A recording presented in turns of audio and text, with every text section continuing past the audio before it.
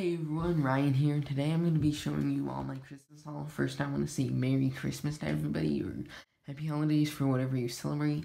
But we're going to start off right away here with the haul. Now, it is Christmas Day, so yeah, I'm very excited, of course. First thing we have is Skull Sorcerer's Dungeon, the big one. Put that back there like so. Really excited for that. Next up here, we have the Baby Yoda Grogu, buildable Grogu. Put Grogu right there. And then next, we have the Boba Fett helmet, buildable Boba Fett helmet.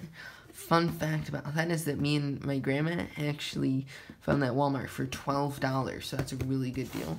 Put that right there. Next up, we have the Night Bus here.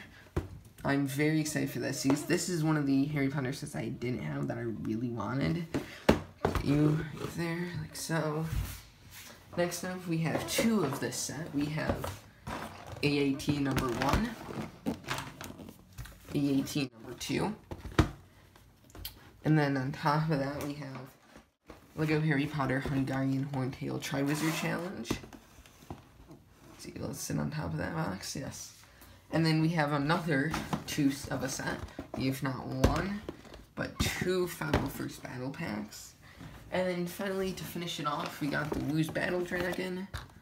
And the thing that I am most excited about that's actually not a Lego, but is going to be so extremely helpful and beneficial, is an iPad 8th generation. I know you guys can't see it because of everything.